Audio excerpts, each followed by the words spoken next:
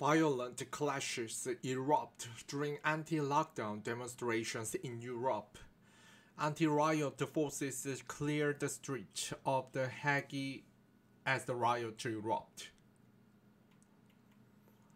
CNN protests in European countries against the new COVID-19 restrictions turned violent over the weekend as cases continue to rise in the continent. Rioting pro- broke out at The Hague on Saturday over the Dutch government's new coronavirus measures. Video from the scene shows riot riot police deploying water cannons and charging groups of demonstrators the Netherlands re-entered the three weeks of the partial lockdown last Saturday and is now planning to ban unvaccinated people from entering some venues. Five police officers were injured during the clashes at The Hague, with one taken to hospital suffering concussion and two suffering hearing damage from loud fireworks. Police said in a statement. The group started fires, committed destruction, assaulted motorists, and threw rocks and heavy fireworks at police officers, police said, confirming that 19 arrests are made. They added that one demonstrator threw a stone through the window of the ambulance, which was transporting a patient to the hospital. Thousands of demonstrators attended a largely peaceful march in the capital Amsterdam on Saturday. Dutch public broadcaster NOS also reported rioting in the town of Urk and cities in southern Limburg province. The protest followed violent clashes on Friday night in the port city of Rotterdam during which police were forced to fire gunshots to disperse the crowd, and 51 people were arrested. Anti-lockdown protesters hold torches in Vienna, Austria on Saturday.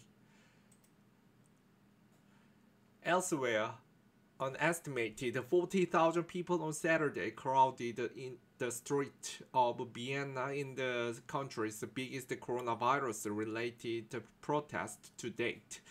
Police tries to de-escalate the protest and and when the mood was about to tip, they stopped fining those not wearing face masks.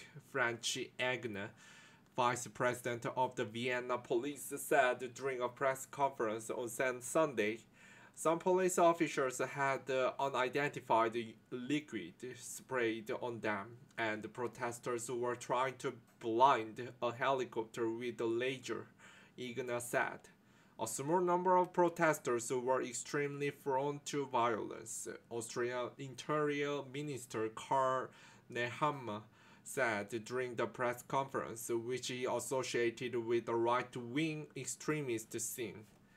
Austria will reintroduce a nationwide partial lockdown on Monday and make coronavirus vaccinations mandatory from February next year. More than 1,400 police officers were deployed across the country to maintain public order, according to the police statement. Pepper spray was used in one heated protest in central Vienna, the police statement added.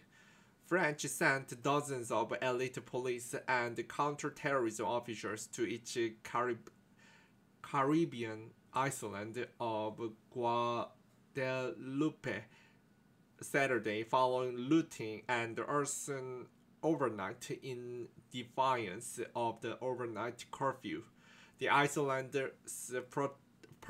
prefect on Friday introduced the state at home order after protests against the vaccine pass spiraled into violence the previous night. The Interior Ministry said 31 people had been arrested. Around 15,000 people on Saturday protested in Zagreb against the Croatian government's coronavirus measure from Monday, only people with COVID passport can enter government and public buildings in Croatia.